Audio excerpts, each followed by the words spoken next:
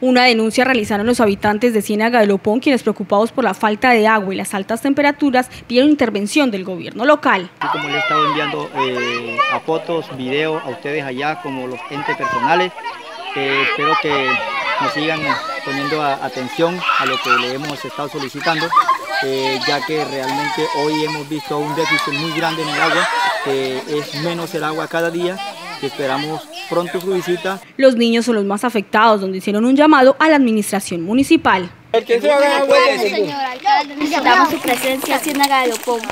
Buenas tardes, señora alcalde.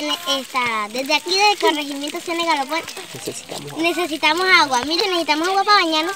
A raíz del intenso verano, el alcalde encargado Fernando Andrade se pronunció al respecto. Efectivamente, yo fui informado de una situación por el intenso verano que se está presentando en, todo el país, eh, ha motivado que se bajen los niveles de la ciénaga. Eh, efectivamente, ayer se hizo una reunión, se convocó a, la Unidad Nacional de Pesca, a UMATA, a la, Secretaría de Política Rural, con Magdalena y, y la CAS, no vinieron a la reunión, pero eh, tomamos una determinación de que en el día de hoy se hiciera una visita, hoy están haciendo una visita para realmente conocer de primera mano esa situación y tomar los correctivos. Una comisión de la administración viajará para conocer de cerca cuántas familias requieren la intervención inmediata.